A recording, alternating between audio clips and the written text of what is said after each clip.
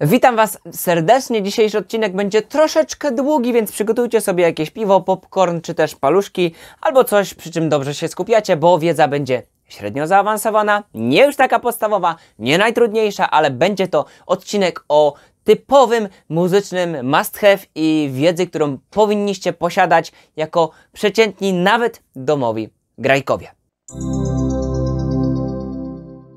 Witam Cię serdecznie w 33 odcinku serii Yamaha bez tajemnic, w którym porozmawiamy o Waszym korektorze, który macie wbudowany w instrument. Tak, tak, nie będziemy gadać o korektorach, które maskują pryszcze na twarzy, ale porozmawiamy o korektorach, które macie wbudowane w swoje instrumenty.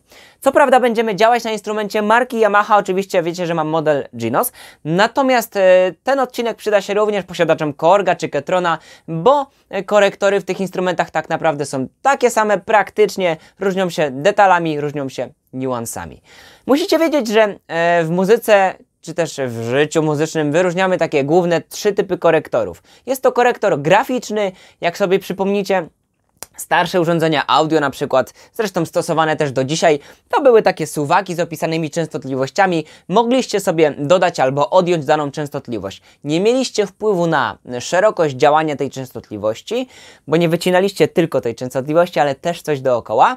I nie mieliście e, wpływu na to, jaką częstotliwość sobie tam ustawicie. One były z góry zaprogramowane, prawda? To jest korektor graficzny.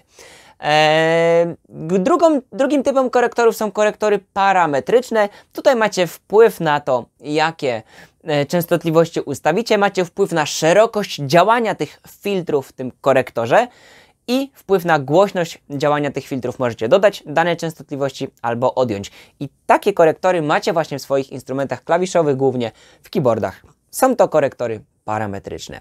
Trzeci typ korektorów to korektory paragraficzne, czyli takie połączenie korektorów parametrycznych z graficznymi. Czytaj mm, w wersji cyfrowej, mają one podgląd na fizyczną e, krzywą mm, waszego ostatecznego efektu brzmieniowego i zmian, jakie wprowadzacie na tym korektorze parametrycznym. Zresztą właśnie to jest ten sposób, który e, teraz będę chciał Wam pokazać, bo wielu użytkowników pisze do mnie, Jerzy, jak ustawić ten equalizer, e, jak robisz to, że Twoje nagrania brzmią tak fajnie, czytelnie, klarownie, spójnie, że te instrumenty są fajnie słyszalne, że ten mix się zgadza i tak dalej, i tak dalej. E, pamiętajcie, że dobrze zrobione nagranie powinno brzmieć wszędzie dobrze, e, a Ty powinieneś wiedzieć, mm, jakie zmiany wprowadzasz. No, książkowo byłoby wiedzieć, Pamiętajcie, że każdy instrument ma swoje częstotliwości. E, pianino gra w jednych częstotliwościach, saksofon gra w drugich, wokal śpiewa w trzecich i ten cały wasz miks to wiele nałożonych na siebie częstotliwości harmonicznych e, i należałoby wiedzieć tak naprawdę, jaki instrument mniej więcej, w jakich tam gdzieś tych częstotliwościach sobie gra, żebyście wiedzieli, po co tam kręcicie, co tam kręcicie, no i najważniejsze, co chcecie uzyskać, prawda? E, z drugiej strony, wielu jest takich użytkowników, którzy włączają instrument, korzystają z brzmienia, e, z ustawienia equalizera flat, bo nawet nie wiedzą, że można ustawić inne, można zrobić swoje i mówią, Jerzy, po co mi to, ja tylko gram w domu i ja się tym cieszę, raduję się, że mogę sobie spędzić wolną chwilę, odpocznę psychicznie, poklikam w te klawisze, posłucham dobrej muzyki, którą sobie sam zagrałem i jest ok. Zgoda. Natomiast jeśli nie wsiądziesz do 600-konnego e, McLarena SLR, to dalej będziesz uważał, że twój 24 czy 26-konny Fiat 126 PS szybki jak rakieta. No prawda? Nie masz porównania, no to niestety nie wiesz jak to może powinno być albo co można zrobić. No właśnie. I dzisiaj Wam też pokażę moje ustawienie ekwalizacji, jak brzmi sobie, posłuchacie, jak brzmi moje ustawienie, które użytkuję w Genosie. Porównamy sobie to z ustawieniem flat, które jest fabrycznym ustawieniem, które kupujecie z którym kupujecie instrument. Posłuchajcie sobie, że różnica jest naprawdę spora. Możecie sobie potestować również e, w domu gotowych innych presetów. Do mojego ustawienia, za które możecie zapłacić albo nie, e, jest bardzo, bardzo podobne ustawienie Bright. Jest pra, no prawie, że identyczne. Tam z dość, z dość drobnymi detalami się różni. E, więc y, cóż, pamiętajcie jeszcze, że mm, na takich korektorach mm, parametrycznych czy też graficznych raczej nie powinno się wprowadzać zmian plus 10 dB, plus 12 dB, bo takie zmiany na korektorach niestety wpływają na fazę sygnału. Nie będę Wam teraz przedstawiał książkowej definicji fazy, sygnału i fazowości, spójności liniowej itd. Tak Poczytajcie sobie o tym w internecie, jeśli macie ochotę. Natomiast w dużym skrócie Wam powiem tak. Nagranie zgodne fazowo to jest takie nagranie, które jest czytelne, klarowne, przejrzyste i ten dźwięk dociera do słuchacza w taki sposób, że on jest w stanie gdzieś tam wychwycić słowa e, w tym miksie etc., etc. Natomiast mm, jeśli wprowadzacie mocne zmiany na korektorach e, parametrycznych czy też graficznych, to te korektory wpływają na spójność fazową tego waszego nagrania czy też sygnału, który wychodzi potem do nagłośnienia. Nagłośnienie ma też swoje odpowiedzi yy, częstotliwościowe i potem się robi jeszcze większy miks, więc im mniejsze zmiany na korektorze, tym lepiej, ale dzięki takim zmianom na korektorze można uwydatnić lub yy, schować na przykład wokal w miksie, czy też jakiś przeszkadzający instrument, który za głośno nagraliście, albo jakieś drażniące, drażniące częstotliwości, które kują w uszy. Natomiast jeśli wprowadzicie za duże yy, zmiany na takim korektorze, to wpłyniecie na spójność fazową w taki sposób, że będziecie mieli wrażenie, że ten dźwięk, który stworzyliście, ten cały miks staje się taki nieczytelny, niespójny. W dużym skrócie, te częstotliwości, które wydobywają się z nagłośnienia, będą docierały do Was w różnym czasie. O tyle wprowadzicie te przesunięcia fazowe względem siebie, przesunięcia delikatnie czasowe, że ten dźwięk stanie się niespójny i nieczytelny.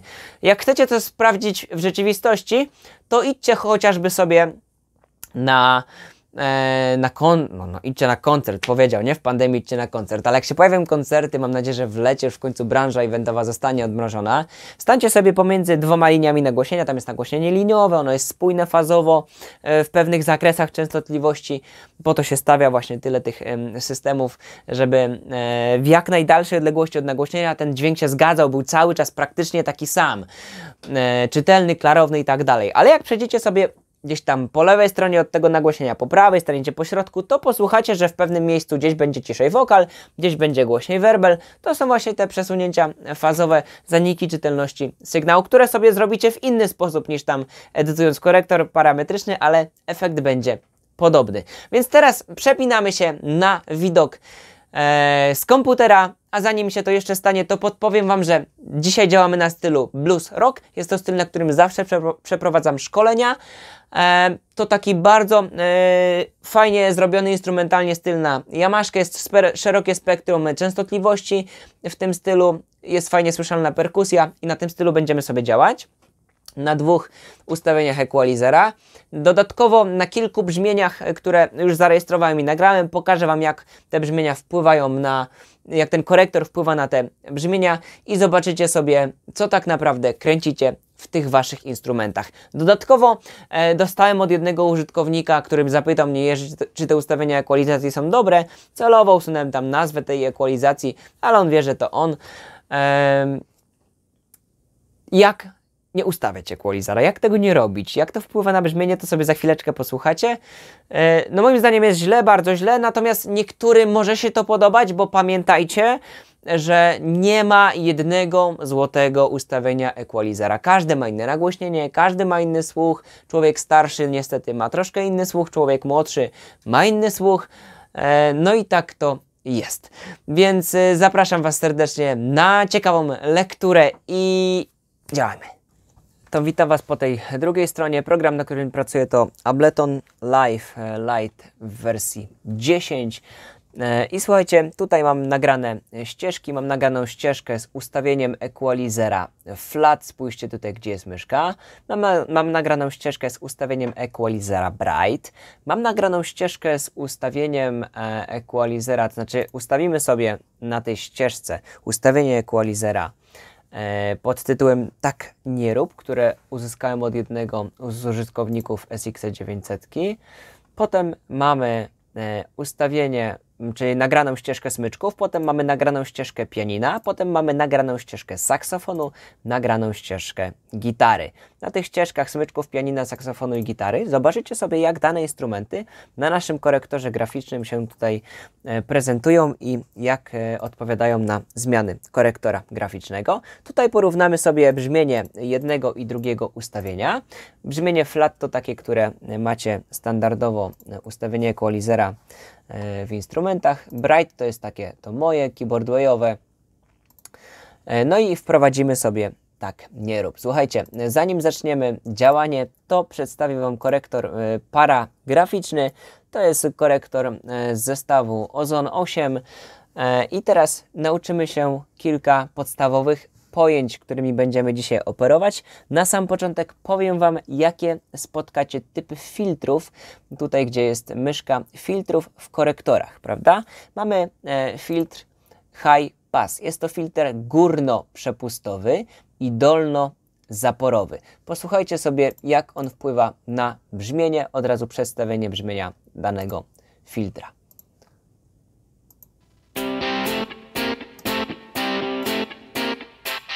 I on nam tylko górne częstotliwości, prawda? Przepuszcza, dolne odcina. Dlatego górno przepustowy i dolno zaporowy dwie nazwy ma. Potem mam tak zwaną e, low shelf. To jest półeczka, e, tak zwana półkowy filterek niskich częstotliwości i to jest e, filterek, który już macie w swoich SX-ach i Genosach. Seria Tyros i starsze Eski tego nie posiadają, natomiast w SX-ie to jest kontroler najbardziej po lewej stronie, ten pierwszy na equalizerze. Tutaj możecie sobie zobaczyć equalizer, zdjęcie, to jest ten kontroler najbardziej po lewej stronie i to jest filtr e, tak zwana e, półka niskich częstotliwości. Jak ona wpływa na brzmienie?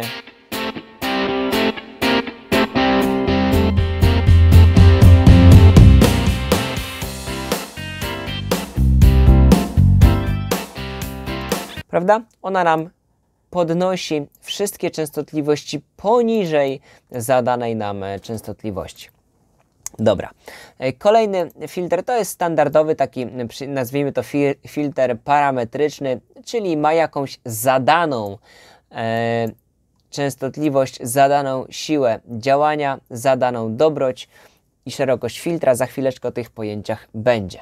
E, kolejny e, filterek to jest tak zwany high shelf, czyli półka wysokich częstotliwości i tutaj tak samo jak było w przypadku półki niskich częstotliwości, działanie jest totalnie odwrotne.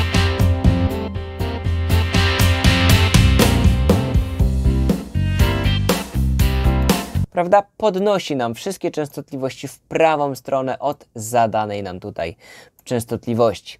E, I kolejny typ filtrów, jakie poznacie, to są filtry e, dolno-przepustowe i górno-zaporowe. Czyli obcinają nam to, co jest po prawej stronie, a przepuszczają to, co jest po lewej stronie.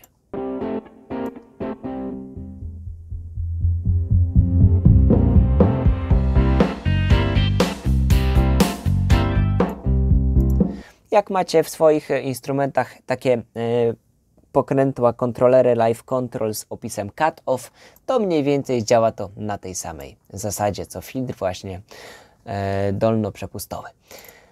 Dobra, więc typy filtrów już poznaliście. W instrumentach klasy Tyros i S macie tylko trzy, yy, tak naprawdę macie tylko jeden typ filtrów, bo macie same parametryki, natomiast w Genosach i w SX-ach mamy dolną półkę, parametryki i górną półkę. Górna półka to jest ten najbardziej po prawej stronie e, wysunięty w ekwalizacji, a po środku macie 5 parametryków. Natomiast Eski i Tyrosy mają tylko 5 parametryków. Dobra, kolejną rzeczą to są pojęcia na tematy częstotliwości, e, gainu i e, dobroci.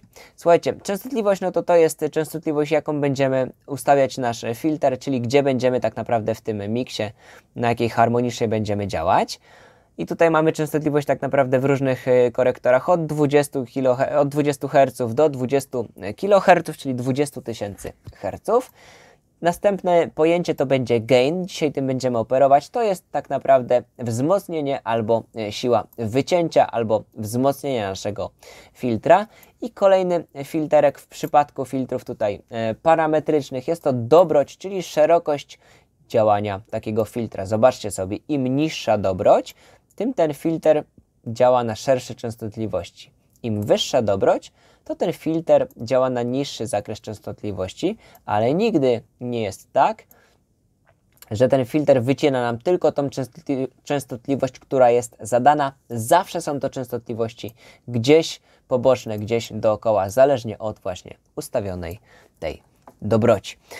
Więc już wiecie, jak e, dane filtry wpływają na brzmienie, znacie typy tych filtrów i znacie jakimi pojęciami będziemy się dzisiaj tutaj e, operować, obnosić, więc zaczniemy sobie od wyłączenia jakichkolwiek mm, korektorów i posłuchamy sobie ścieżkę z ustawieniem flat i z ustawieniem moim keyboardwayowym bright.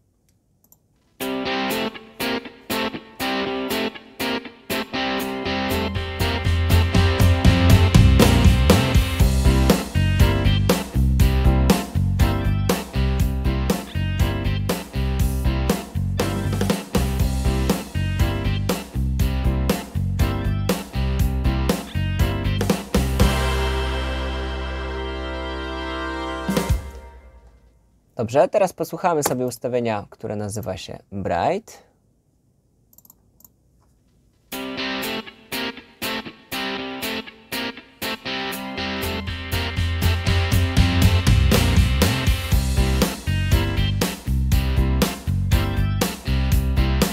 A teraz będę się przełączał pomiędzy flat a bright. Zobaczcie tutaj po prawej stronie na ekranie, gdzie jest niebieskie S jak solo.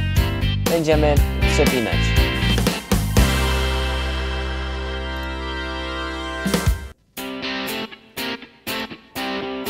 To, co jest niebieskie, to gra aktualnie.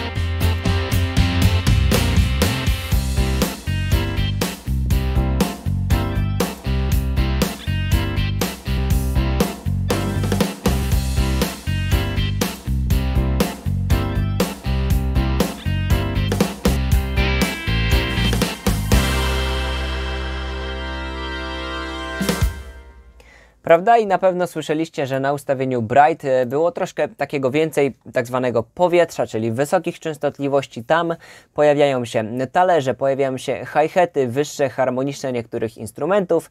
Generalnie taka klarowność zwana e, powietrzem w miksie. Natomiast flat taki wyrównany, troszeczkę tam niski środek jest taki mułowaty w genosie e, względem chociażby Tyrosa. E, bo jest tutaj dużo też mniej pogłosów na różnych stylach. No i moim zdaniem trzeba sobie tego środka e, mułowatego wyciąć, dodać górnych częstotliwości i brzmi to dużo, dużo lepiej. Słuchajcie, e, kolejną rzecz to zrobimy, to co się teraz pojawia na ekranie, to jest ekwalizacja z pewnego SX-a, pewnego człowieka. Celowo Wam nie powiem jakiego, ale ten, kto mi to dał, to na pewno wie, kto to. I to jest ekwalizacja pod tytułem Tak nie rób. E, I to nie jest e, ze względu na brzmienie może, które się uzyskuje, chociaż też pokrótce, zaraz Wam pokażę dlaczego. Natomiast ze względów takich, że nie powinno się takich ogromnych, wielkich zmian wprowadzać na e, kompresorach, gdyż na equalizerach, gdyż naprawdę wpływają one na fazowość tego sygnału i spójność brzmieniową, a można ten sam efekt, zobaczycie za chwilkę, zrobić dużo mniejszym nakładem pracy, wprowadzając dużo mniejsze zmiany w tym e, korektorze. Więc odpalimy sobie e, naszego equalizerka. Krok po kroku pokażę Wam, w jaki sposób wpływa to, co zostało tutaj zrobione na tym equalizerze, na linię. To będzie biała linia, to będzie ostateczna linia naszego e, wykresu korektora graficznego. Ustawimy sobie tutaj korektor cyfrowy. Będziemy mieli wpływ na dobroć działania filtrów. Zaczynamy od lewej strony 80 Hz, filtr dolna półka, tak go nazwaliśmy. Ustawiamy częstotliwość 80 Hz, gaina mamy plus 11 dB. Spójrzcie, wszystko tutaj leci w górę, aż ponad wykres 11 dB. Zobaczcie, od 1500 kHz mniej więcej nam zadziałał ten, mm, ten filtr Niemniej jednak mamy tutaj dobroć ustawioną na 6, prawda? Tutaj możemy mieć dobroć na 24, a najniższą na 1. Ustawimy mniej więcej to w połowie, słuchajcie, żeby było sprawiedliwie, bo ja tak naprawdę nie wiem i my nie wiemy, jak w instrumentach marki Yamaha ta dobroć została określona, bo po prostu nie została podana, a wykresu graficznego do tego e, equalizera po prostu nie ma. Więc żeby było sprawiedliwie, ustawiamy to na połowę możliwości tej dobroci, gdzieś się spotkamy po środku. Korektor drugi 250 Hz częstotliwości i tutaj mamy gaina plus 2 dB. Spójrzcie tutaj, jakie nałożyły się tutaj e, dodatki, taka górka się zrobiła, kolejna hopka. Kolejny mamy trzeci parametryk na 500 Hz.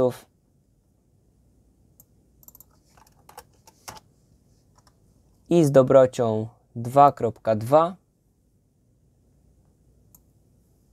i mamy e, gaina minus 12 dB. Spójrzcie. I lecimy.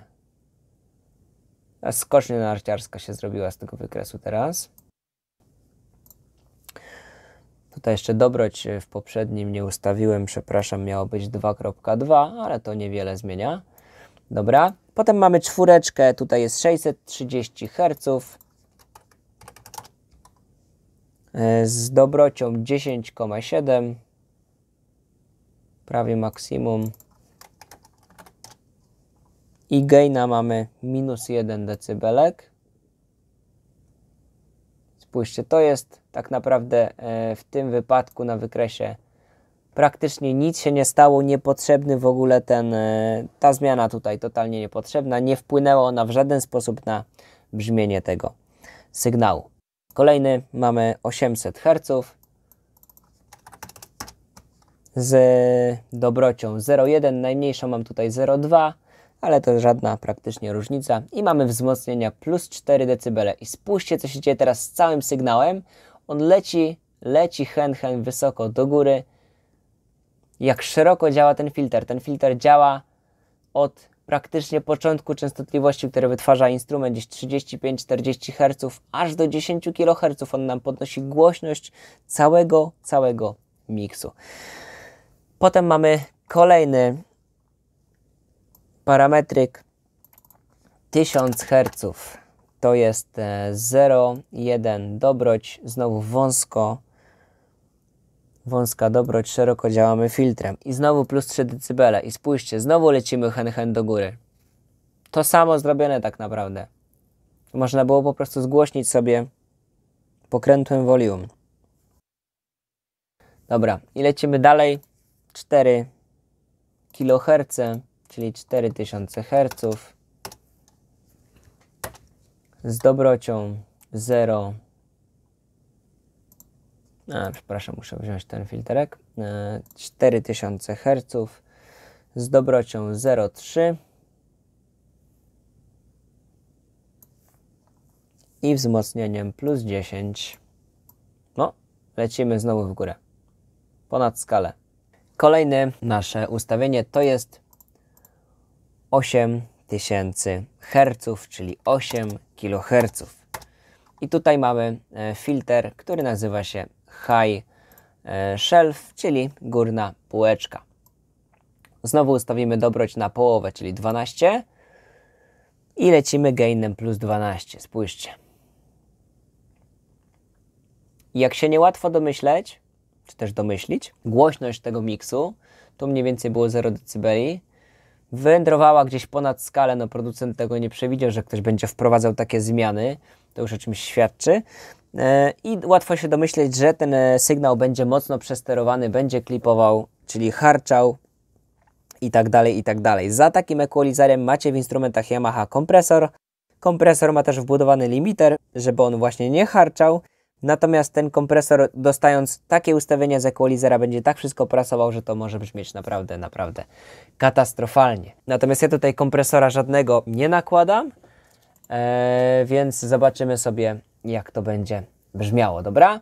E, I od razu informuję, że będzie naprawdę chwilkę za głośno będzie trzeszczało, będzie trzeba ściągnąć sporo, sporo na, e, na głośności, na wyjściu z naszego equalizera i to za chwileczkę Wam pokażę w jaki sposób i dlaczego. No dlatego, żeśmy sobie pozwiększali gaina. Mamy ścieżkę e, bright i mamy ścieżkę tak nie rób.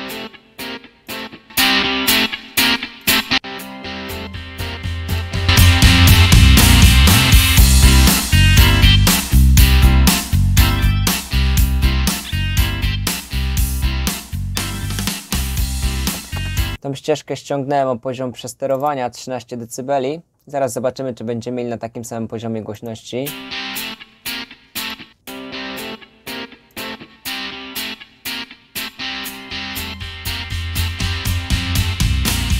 Jeszcze, jeszcze klipuję.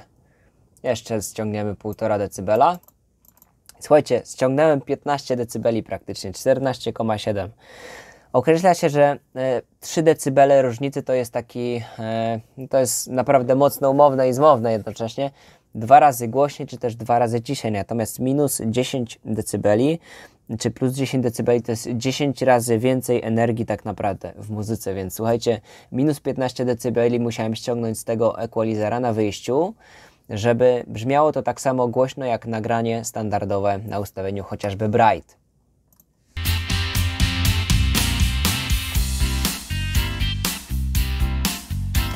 Tam nam delikatnie bardziej klipuje jeszcze, dobra. I słuchajcie, teraz porównamy sobie, od razu słyszeliście różnicę, porównamy sobie ustawienie Bright, które przed chwileczką wydawało się fajnie, klarownie grające i równo, spójnie z ustawieniem e, tak nie rób.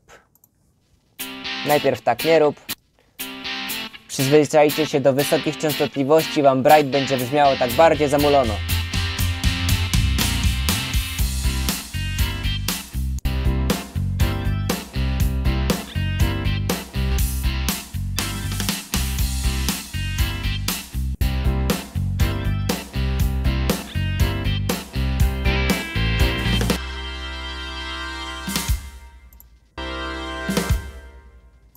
Ok, a teraz Was proszę, wsłuchajcie się tylko w sam werbel.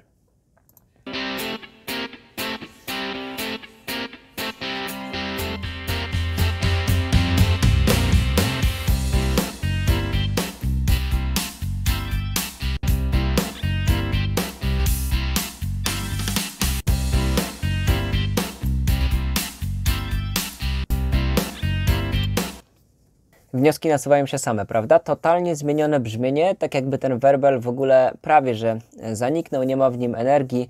E, można powiedzieć też, że w tym tak nie rób zostało usunięte takie całe, cały efekt takiej analogowej taśmy, można powiedzieć, takiego ciepełka w miksie, takiego e, fajnego. E, no, często jest taki efekt nakładany na, nawet na miksy. Właśnie on się nazywa e, analog, e, czy też vintage, czy analog tape, tam każdy sobie te efekty inaczej nazywa. Natomiast taki e, efekt y, po prostu takiego ciepła w brzmieniu. Ten tak nie rób brzmi, co prawda tak y, klarownie, jak się go dłużej posłucha, to kuje w uszy. Na różnych systemach nagłośnienia na pewno to się nie będzie zgadzało brzmieniowo, będzie za głośno, te, te wysokie częstotliwości, te gwizdki będą aż piszczały i szumiały. Natomiast e, brakuje totalnie e, środka, brakuje ciepła e, i czyli gitar, brakuje werbla, gdzieś tam niższych częstotliwości na smyczkach, na pianinie, na saksofonie, na gitarze tych niskich częstotliwości po prostu nie ma. Jest taka po prostu dziura w miksie.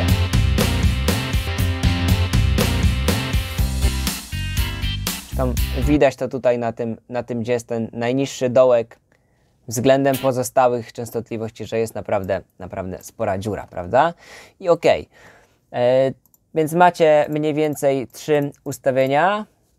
Przelecimy sobie teraz tak, brzmienie smyczków, brzmienie pianina, saksofonu i gitary, żebyście zobaczyli jak odpowiadają sobie na, na częstotliwości i na wykresie, żebyście wiedzieli co kręcicie tak naprawdę. Spójrzcie sobie teraz na wykres ekwalizacji i odpalimy smyczki.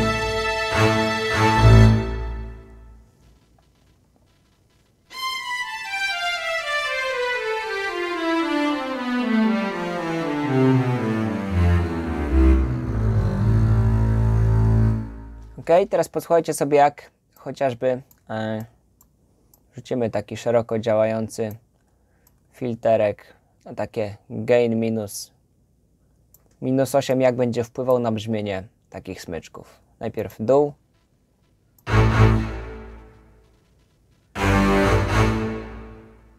Tu będzie słychać.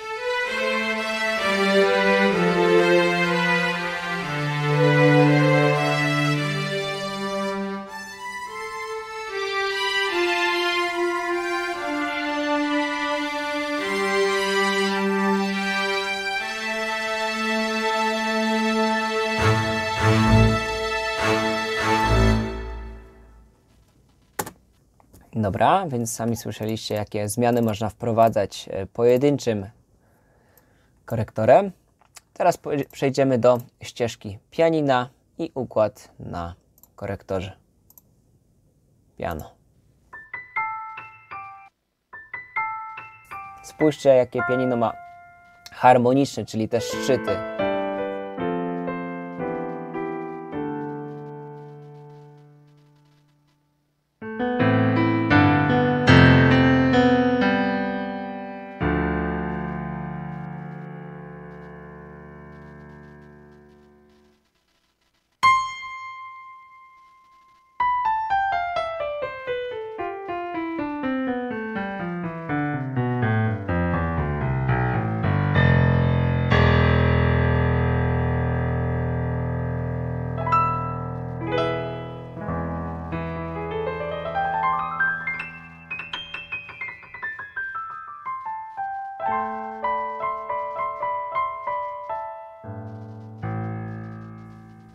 Prawda? I tutaj tak samo odpalimy sobie jeden parametryk, ściągniemy go szeroko i posłuchajcie sobie, jakie różnice w brzmieniu.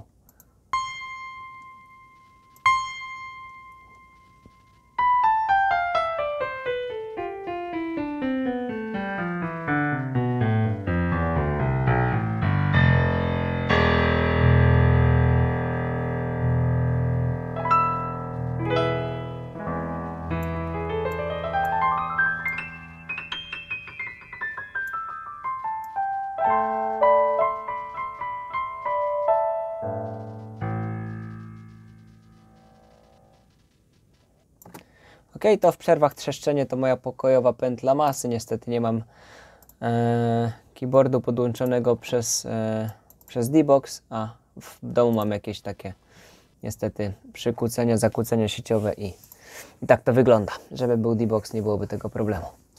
Dobra, e, lecimy sobie z, brz- z brzmieniem saksofonu. Ścieżka. Zobaczcie sobie jak saksofon się przedstawia.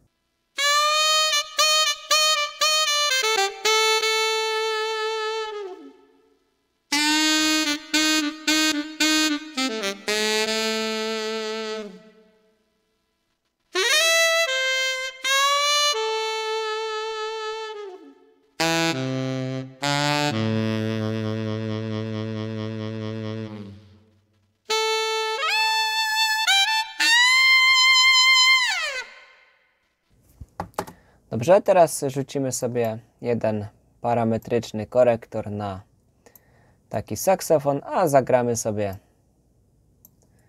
na dobroci 2. Dość szeroko. I posłuchajcie sobie, jak to brzmi.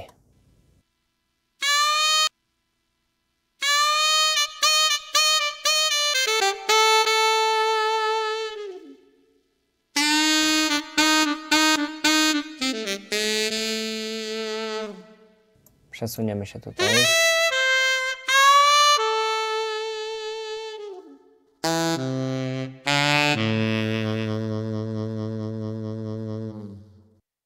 Prawda? Więc jednym parametrykiem naprawdę można sporo nawojować. Teraz e, gitarka, tutaj brzmienie, e, feedbacker. A zobacz, coś tu przycięło. A jest ok. Brzmienie e, feedbacker, czyli takie moje brzmienie edytowane na Genosie, które w swoich coverach może w moich coverach możecie po prostu sobie posłuchać. Jest to tak naprawdę standardowe brzmienie feedbacker z zmienionym efektem na gitarze.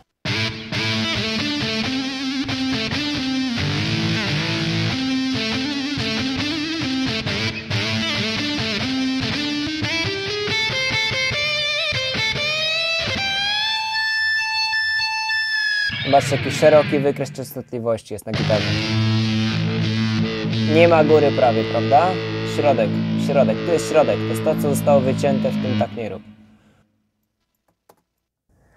I teraz rzucimy sobie jeden parametryk na taką gitarę i zobaczcie, jak wytniemy sobie z tego środek. O, taki ciepło. Przypuśćmy 400 Hz, zagramy szeroko na dobroci 2 i posłuchajmy gitary.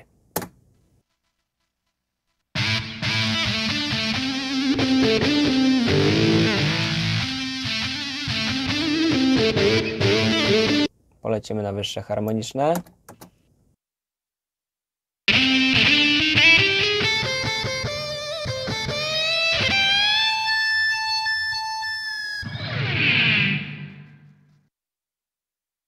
Ok, na sam koniec y, pokazowego naszego szkolonka wrzucimy sobie ustawienie pod tytułem e, Tak nie rób na każdą ze ścieżek. Będziemy e, włączać i wyłączać ten equalizer, żebyście posłuchali różnicy w brzmieniu, które się tutaj e, wprowadza. A na sam koniec pokażę Wam, że to samo, co zostało zrobione tym equalizerem z ogromnymi zmianami fazowymi, można e, zrobić dwoma, no trzema, trzema ustawieniami korektora tak naprawdę. Praktycznie to samo, to wiadomo. Trzeba by było dłużej pokręcić. Odpalamy sobie e, smyczki. Pousuwamy te korektory standardowe i rzucimy sobie na każdy kanał korektor z tego, z tego SX-a naszego nieszczęsnego. Jak to pan nasz sympatyczny powpływał na brzmienie danych instrumentów? Może zamierzenie, może nie? Smyczki.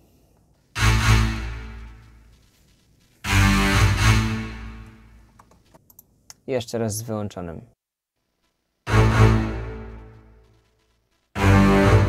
I włączymy jeszcze raz. Ok, tu na dole po lewej włączam, aktywuję.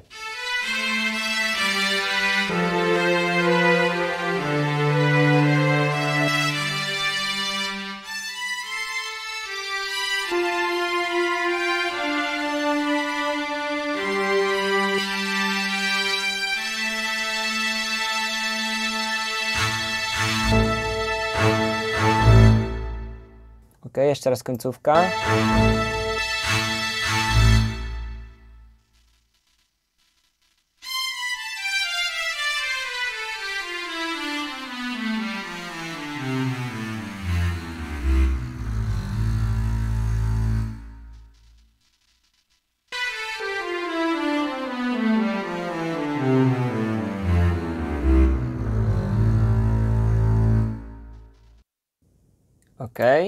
To samo sobie zrobimy na pianinie. Rzucimy sobie tutaj solo. Ok.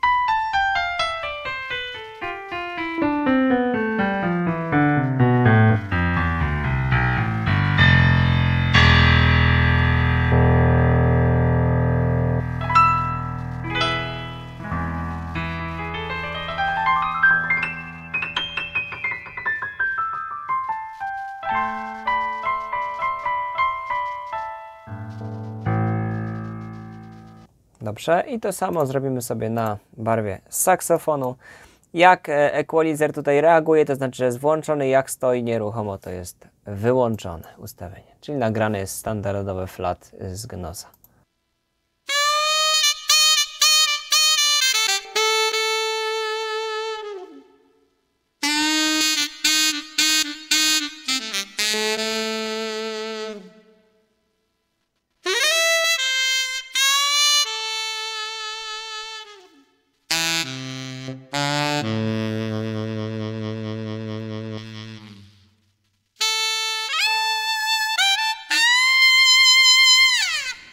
To mogło być bolące dla uszu ta końcówka. Te wysokie, harmoniczne. Ok, i rzucimy sobie na gitarę. To będzie klarowna, czysta gitara, taka straci dół, ciepło.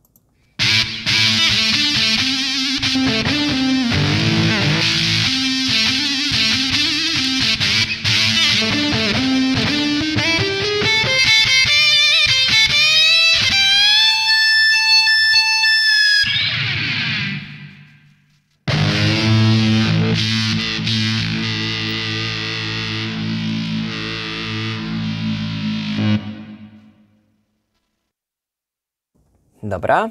I na sam koniec, słuchajcie, na brzmieniu y, smyczków pokażę Wam, że takie samo ustawienie brzmieniowe, taki sam efekt końcowy można uzyskać krótszym, krótszą zabawą tak naprawdę. Usuniemy ścieżki, skopiujemy ścieżkę smyczków. Dobrze. I tu mamy ustawienie pod tytułem Tak nie rób. Na górnej ścieżce nazwiemy to smyczki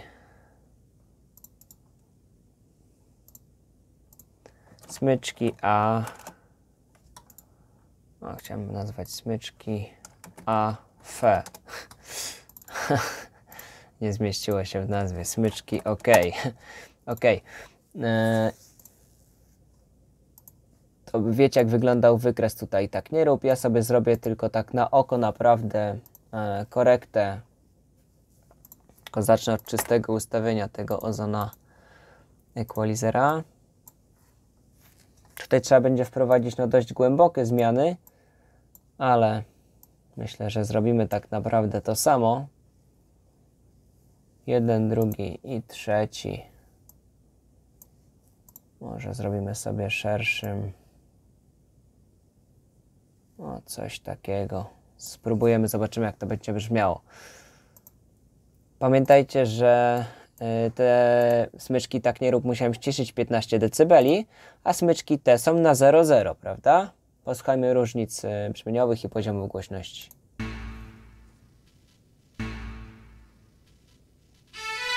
I dolne.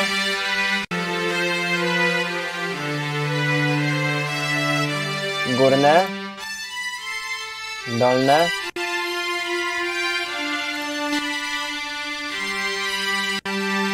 Te mają jeszcze troszkę za dużo tych niskich częstotliwości, więc możemy sobie to śmiało e, wyciąć.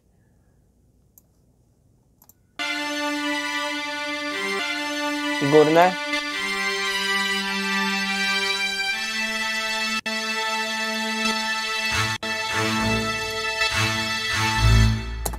I tak naprawdę mamy zrobione to samo brzmienie, słuchajcie.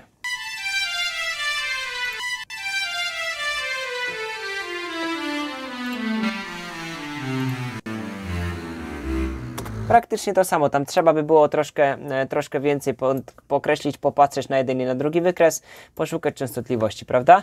Natomiast spójrzcie, ja to zrobiłem trzema, e, trzema korektorami, tak naprawdę e, dolno-zaporowym, i dwoma parametrykami i to już są tak naprawdę za duże zmiany wprowadzone na, na taką ścieżkę, ale żeby dopasować Wam do tamtego korektora tak nie rób, który wyszedł poza skalę, musiałem ściągać 15 dB na głośności. Zrobiłem to trzema krótkimi i prostymi e, ruchami, tak naprawdę na e, słuch i na oko e, w, minutę.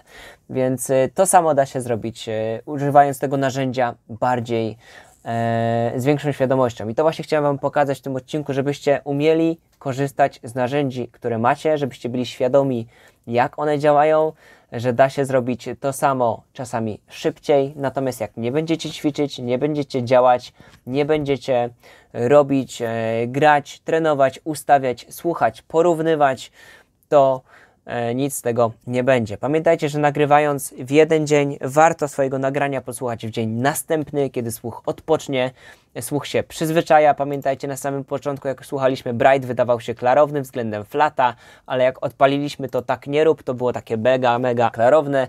Znowuż e, środka brakowało e, i nasz Bright wydawał się taki bardzo przytłumiony, prawda? Bo uszy nam zmasakrowały te wysokie częstotliwości. Więc pamiętajcie, że słuch się przyzwyczaja. Warto swoje nagranie zawsze posłuchać E, na następny dzień, a jeśli chcecie słuchać w ten sam dzień, posłuchajcie w międzyczasie kilka zupełnie innych numerów, nie swoich, jakiejś innej muzyki, totalnie e, z innego gatunku, z innego e, z innej produkcji, żeby Wam ten słuch troszkę zresetować i wróćcie do swojego miksowania, czy też grania i bawienia się ustawieniami korektora dalej. To tyle ode mnie, jeśli chodzi o swoje korektory. Używajcie tych narzędzi świadomie. Trzymam za Was kciuki. Mam nadzieję, że ten odcinek był dla Ciebie mega przydatny. Dla mnie był dość mega trudny w montażu tego wszystkiego i patentowaniu technologii, bo jestem dość ograniczony niestety w tym pokoju technologicznie e, i szukałem długo sposobu, jak Wam to nagrać, jak Wam to pokazać, no ale w końcu się udało. Jeśli używasz e, korektorów e, graficznych, czy też e, korektorów parametrycznych, czy też jakichkolwiek innych paragraficznych, to napisz, podziel się informacją, podziel się swoimi, nie wiem, najgorszymi ustawieniami, jakie kiedykolwiek zrobiłeś, albo czy może dzięki mnie dowiedziałeś się czegoś fajnego. Napisz o tym wszystkim w komentarzu pod filmem. Koniecznie subskrybuj kanał Akademii Keyboardu, czekaj, klikaj czerwony przycisk poniżej. no i udostępniaj gdzie się da, niech się wieść Akademii Keyboardu niesie. Dzięki serdeczne za kolejny fajny, choć długi materiał. Mam nadzieję, że czegoś cennego się dzisiaj dowiedziałeś. A teraz trzymaj się, cześć.